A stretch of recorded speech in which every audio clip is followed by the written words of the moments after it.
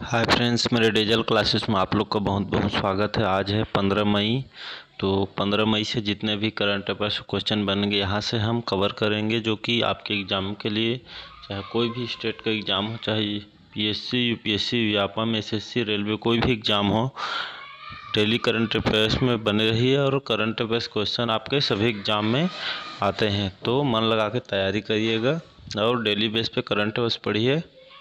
तो चलिए आज के करंट अफेयर स्टार्ट करते हैं और यहाँ से मोस्ट इम्पोर्टेंट क्वेश्चन कवर करते हैं। तो आज का हमारा पहला क्वेश्चन है, हाल ही में दुनिया का सबसे लंबा सस्पेंशन फुट ब्रिज कहाँ खोला गया है? तो सिंगापुर, चेक रिपब्लिक, मलेशिया, इनमें से कोई। तो हाल ही में दुनिया का सबसे लंबा सस्पेंशन फुट ब्रिज खोला गया है आपके चेक रिपब्लिक में।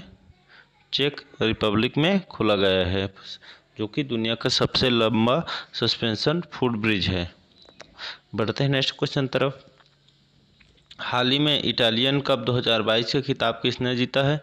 तो इम्पोली, यूवेटस या इंटर मिलान या इनमें से कोई नहीं। तो हाल ही में इटालियन कप 2022 का खिताब सी ऑप्शन इसका सही हो जाएगा। इंटर मिलान जिन, जिन्होंने 2022 का खिताब अपने नाम कर लिए हैं तो इसका सी ऑप्शन सही हो जाएगा।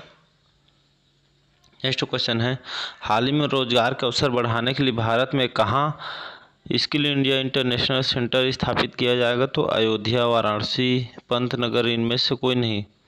तो रोज़गार का अवसर बढ़ाने के लिए भारत में, वाराणसी में स्किल इंडिया इंटरनेशनल सेंटर स्थापित किया जाएगा, जो कि वाराणसी में यह सेंटर खोला जाएगा। तो इसका बी ऑप्शन वाराणसी हो जाएगा, याद रखिएगा। चौथा क्वेश्चन है, हाल ही में किसे आर ई सी लिमिटेड का सी एम डी नियुक्त किया गया तो सुमन बेरी सतीश्वरन रविंदर सिंह ढिल्लो, इनमें से कोई नहीं। तो इसका सही ऑप्शन रविंदर सिंह ढिल्लो जी को हाल ही में आर ई सी लिमिटेड का सी एम डी नियुक्त किया गया है, रविंदर सिंह ढिल्लो को।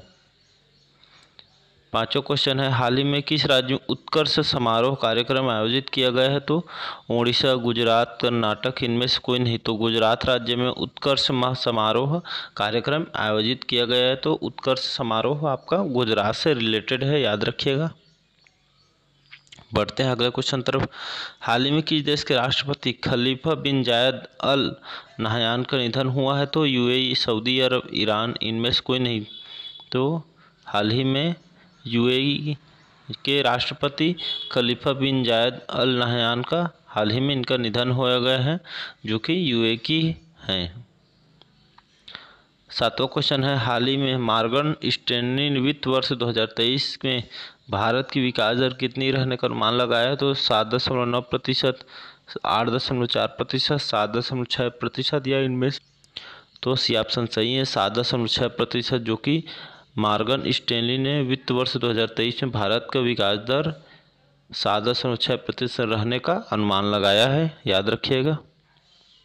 हाल ही में किस स्थान ने युवा टूरिज़्म क्लब स्थापित करने की घोषणा की तो ISRO C B S E D R इनमें से कोई नहीं। तो हाल ही में सी बी एस ई युवा टूरिज़्म क्लब स्थापित करने की घोषणा की है।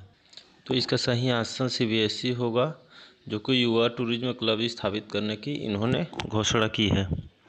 बात करते हैं नेक्स्ट क्वेश्चन पे। तो हाल ही में महिला हॉकी एशिया कप 2022 का किताब किसने जीता है? तो जापान, दक्षिण कोरिया, भारत, इनमें से कोई नहीं। तो इसका ए ऑप्शन सही हो जाएगा। जापान ने महिला हॉकी एशिया कप 2022 का किताब इन्होंने जीत लिया है? जापान ने 2022 का। तो इसका ऑप्शन सही हो जाएगा। बात करते हैं दसों क्वेश्चन में तो हाल ही में भारत की सबसे बड़ी P E M Aadhaar, green hydrogen परियोजना कहाँ स्थापित की जाएगी? तो केरल, मध्य प्रदेश, आंध्र प्रदेश, इनमें से कोई नहीं।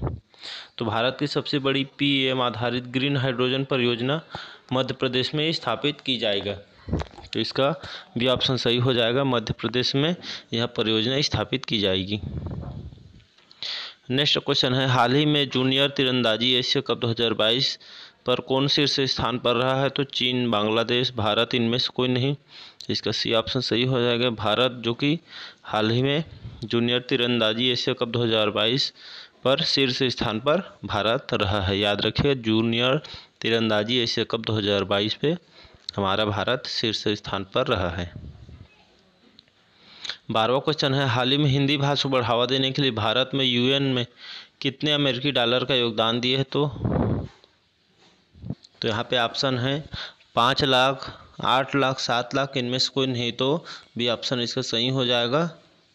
इसमें आठ लाख, जो कि हिंदी भाषा को बढ़ावा देने के लिए भारत ने यूएन में आठ लाख अमेरिकी डॉलर का योगदान दिया है तो इसका बी ऑप्शन सही हो जाएगा। नेक्स्ट क्वेश्चन हाल ही में किस केंद्रीय मंत्रालय ने भारत टैप पहल शुरू की है? तो कृषि मंत्रालय, सूचना प्रसारण मंत्रालय, आवास एवं शहरी मामलों के मंत्रालय या इनमें से कोई नहीं? तो हाल ही में आवास एवं शहरी मामलों के मंत्रालय ने, केंद्रीय मंत्रालय ने जो कि भारत टैप पहल शुरू की है तो भारत टैप आवास एवं शहरी मामलों के मंत्रालय से संबंधित है। याद रखिएगा। चौदवा क्वेश्चन है, हाल ही में 2027 एस ई ए खेलों की मेज़बानी कौन सा देश करेगा? तो सिंगापुर, मलेशिया, इथोपिया, इनमें से कोई नहीं। तो हाल ही में दो हज़ार सत्ताईस एस ई ए खेलों की मेज़बानी मलेशिया करेगा। तो इसका बी ऑप्शन मलेशिया आ जाएगा। आज का लास्ट क्वेश्चन है। हाल ही में इंटर सोलर यूरोप 2022 कार्यक्रम में भारत की तरफ़ से कौन भाग लेंगे तो नरेंद्र मोदी, राजनाथ सिंह, श्री भगवंत खुआ या इनमें से कोई नहीं। तो हाल ही में इंटर सोलर यूरोप 2022 कार्यक्रम में भारत की तरफ़ से श्री भगवंत खुबा इनमें भाग लेंगे। इसका सी ऑप्शन सही हो जाएगा। तो आज के करंट अफेयर्स कैसे लगा कमेंट करके ज़रूर बताओ। चैनल को ज़्यादा से ज़्यादा लाइक, सब्सक्राइब और शेयर करें। और डेली बेस पे करंट अफेयर्स पढ़िए, क्योंकि आपके आगामी एग्ज़ाम में बैक टू बैक बहुत सारे एग्ज़ाम हैं, जो कि करंट अफेयर्स के क्वेश्चन बहुत ही इंपॉर्टेंट हो जाता है आपके सभी एग्ज़ाम के लिए। तो डेली बेस पे करंट अफेयर्स पढ़िए। Thank you